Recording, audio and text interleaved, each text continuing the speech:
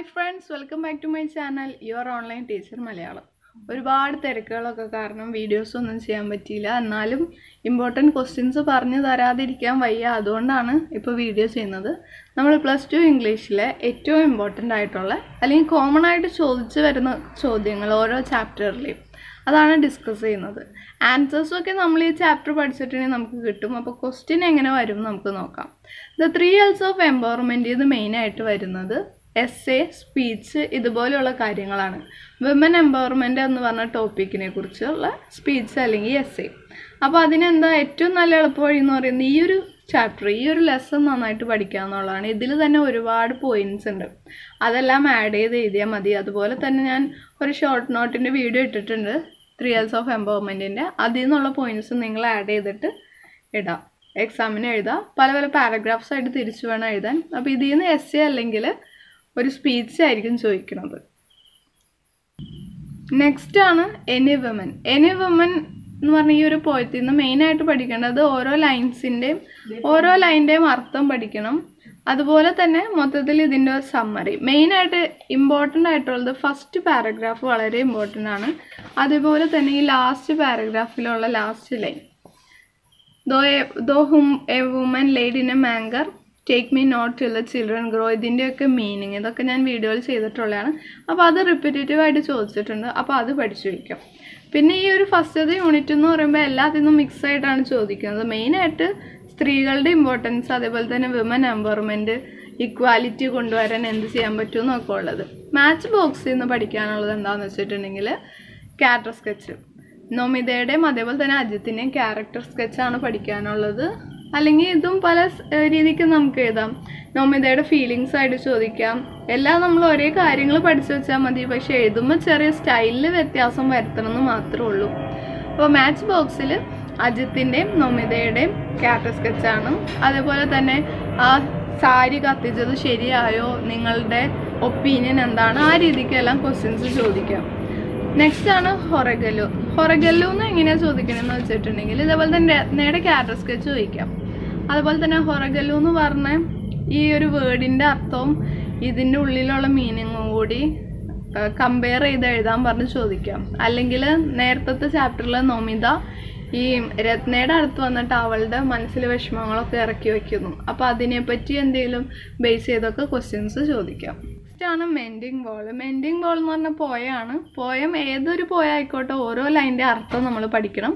പിന്നെ അതിന്റെ ഒരു അപ്രിസിയേഷനും കൂടി പഠിക്കാം. അപ്രിസിയേഷൻ പഠിക്കുമ്പോൾ ഓരോ പോയറ്റിനെ കുറിച്ച് ഒരു രണ്ട് ലൈൻ കൂടി ആദ്യത്തെ പാരഗ്രാഫിൽ എഴുതാൻ വേണ്ടി ശ്രദ്ധിക്കുക. പിന്നെ ഈ ഒരു പോയത്തിലെ ഇമ്പോർട്ടന്റ് സെൻ ലൈൻ എന്ന് പറയുന്നത് some are love some so nearly balls എന്ന് പറയുന്നുണ്ട് അത്.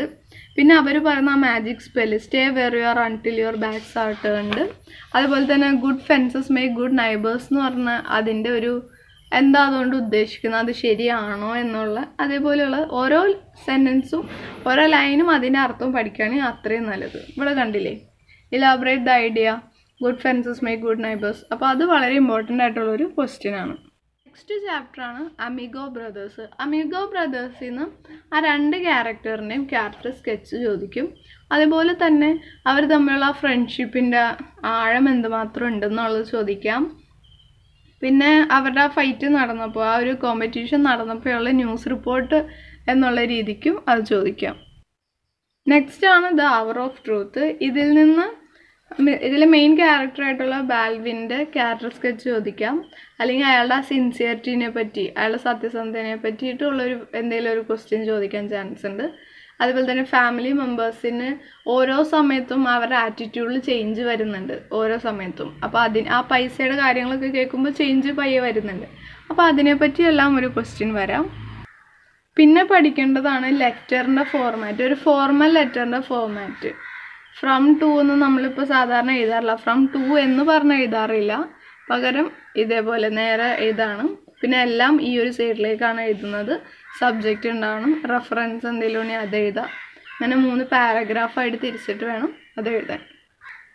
നെക്സ്റ്റ് ആണ് എ ത്രീ വീൽഡ് റെവല്യൂഷൻ ഇതിൽ നിന്ന് ആ സമ്മാൻ എന്ന് പറഞ്ഞ ആ ഒരു ഫൗണ്ടേഷനെ പറ്റി ചോദിക്കാം. അല്ലെങ്കിൽ ഇതിലെ മെയിനായിട്ടുള്ള ഇത് ഇന്റർവ്യൂ ചെയ്യുന്ന ഈ ഒരാളെക്കുറിച്ചുള്ള ഇർഫാൻ ആലത്തിനെ കുറിച്ചുള്ള അയാളെ കുറിച്ചൊരു ജൻ ഒരു അഞ്ച് മാർക്കിന് എന്തെങ്കിലുമൊക്കെ ചോദിക്കാം. അതുപോലെ തന്നെ എന്തൊക്കെ ബുദ്ധിമുട്ട് അദ്ദേഹം നേരിട്ടു അതെല്ലാം എങ്ങനെ ഓവർകം ചെയ്തു അദ്ദേഹത്തിന്റെ ഐഡിയാസ് എന്തൊക്കെയായിരുന്നു പിന്നെ താഴെ വളരെ താഴെ ലോ സ്റ്റാറ്റസ് ഉള്ള ആളുകളെ ഉയർത്തിക്കൊണ്ടുവരുന്നതിൽ അദ്ദേഹം എങ്ങനെയാണ് സക്സസ് ആയതെന്നുള്ള അങ്ങനെയുള്ള ക്വസ്റ്റ്യൻസൊക്കെ ഈ ഒരു ചാപ്റ്ററിൽ നിന്ന് ചോദിക്കാം. പിന്നെ ഇതിന്റെ ഒപ്പം തന്നെ നമ്മൾ പഠിച്ചുകൊണ്ടതാണ് ഇമെയിലിന്റെ ഫോർമാറ്റ് ഇമെയിൽ ഇപ്പോൾ ഏതൊരു ചാപ്റ്ററിൽ നിന്ന് വേണമെങ്കിലും ചോദിക്കും. ഇപ്പോൾ ഇർഫാൻ ആലത്തിനെ നമ്മൾ ഇൻവൈറ്റ് ചെയ്യാണ് നമ്മുടെ സ്കൂളിലെ എന്തെങ്കിലും ഒരു പരിപാടിക്ക്. അപ്പോൾ ആ ഇൻവൈറ്റ് ചെയ്യണതിനെ പറ്റിയുള്ള ഒരു ഇമെയിലോ അങ്ങനെ പല രീതിക്ക് ഏത് ചാപ്റ്ററിൽ നിന്ന് വേണമെങ്കിലും ഇമെയിൽ ചോദിക്കാം. നെക്സ്റ്റ് ആണ് ദീദി എന്ന് പറഞ്ഞ ചാപ്റ്റർ ദീദി എന്ന് പറഞ്ഞ ചാപ്റ്ററിൽ നിന്ന് ഈ ബാക്കിലുള്ള ക്വസ്റ്റ്യൻസ് തന്നെയാണ് അതിൽ ഏറ്റവും ഇമ്പോർട്ടന്റ് ഒന്ന് ഇതിൽ നിന്ന് ഇതിൽ നിന്നായിട്ടുള്ളതാണ് ജോബ് ആപ്ലിക്കേഷൻ അത് അല്ലെങ്കിൽ റെസ്യൂമി പ്രിപ്പയർ ചെയ്യാൻ എന്തായാലും നമ്മൾ പഠിച്ചിരിക്കണം. വേറെ അതായത് ഷഹീൻ എന്തൊക്കെ പ്രോബ്ലംസ് ഫേസ് ചെയ്തു. അതുപോലെ തന്നെ ഇന്ത്യൻ എഡ്യൂക്കേഷൻ സിസ്റ്റം കൂടുതൽ ബുക്കിഷ് ടൈപ്പ് ആണെന്നതിൽ പറയുന്നുണ്ട്. അത് എന്തുകൊണ്ടാണ് അങ്ങനെയുള്ള പിന്നെ ചില സ്കൂളുകളിലെ പ്രിൻസിപ്പൾസൊക്കെ സ്റ്റുഡൻസിന് കാശില്ല പഠിക്കാനൊട്ടും പൈസയൊന്നും ഇല്ലാതെയുള്ള ആ ഒരു കുട്ടികൾക്ക് സ്പേസ് കൊടുത്തില്ല. പല പല ന്യായങ്ങൾ പറഞ്ഞിട്ട്. അപ്പോൾ അത് ശരിയാണോ? നിങ്ങളാണെങ്കിൽ എന്ത് ചെയ്യും? അങ്ങനെയുള്ള രീതിക്കൊക്കെ ക്വസ്റ്റ്യൻസ് ചോദിക്കാം. നെക്സ്റ്റ് ആണ് സ്റ്റാമർ. സ്റ്റാമറിൽ മെയിനായിട്ട് ഓരോ ലൈന്റെയും അർത്ഥം അതേപോലെ തന്നെ സ്റ്റാമർ കൊണ്ട് എന്താണ് കവി ഉദ്ദേശിക്കുന്നത് അതൊരു ഹാൻഡിക്യാപ്പായിട്ടാണ് ഉദ്ദേശിക്കുന്നത് അല്ലെങ്കിൽ അതിനെ എന്താ പറയുക വളരെ കോമൺ ആയിട്ടുള്ള ഒരു കാര്യത്തിന് വളരെ ഡിഫറെന്റ് ആയിട്ടുള്ള ഒരു രീതിക്കാണ് എക്സ്പ്രസ് ചെയ്തേക്കുന്നത് അപ്പോൾ ഇതിൽ നിന്ന് മെയിനായിട്ട് ഇതിന്റെ അപ്രീസിയേഷൻ വേണം പഠിക്കാൻ. അതുപോലെ തന്നെ ഇതിൽ ഇമ്പോർട്ടന്റ് ആയിട്ടുള്ള ലൈൻസ് ഒക്കെ ഉണ്ട് അതായത് each time we stammer we are offering a sacrifice to the god of meanings പിന്നെ god too must have stammered when he created man that is why all the words of man carry different meanings ഇങ്ങനെയൊക്കെ ഉള്ള lines എല്ലാം ഇതിൽ ഏറ്റവും important ആയിട്ടുള്ളതാണ്. Next ചാപ്റ്ററാണ് when a sapling is planted വളരെ important ആയിട്ടുള്ള ഒരു ചാപ്റ്ററാണ് അതേപോലെ തന്നെ ഒരു കറണ്ട് ഇഷ്യൂമാണ് ഒരുപാട് എൻവയോൺമെന്റൽ പ്രോബ്ലംസ് ഇന്നത്തെ കാലത്ത് ഈ ഒരു പ്രസന്റ് ടൈമിൽ നടക്കുന്നുണ്ട്. അപ്പോൾ ഒരു ജനറൽ ആയിട്ടുള്ളൊരു ഒരു എസ്സയോ അങ്ങനെ ഒരു സ്പീച്ചോ എന്തെങ്കിലുമൊക്കെ ചോദിക്കാം.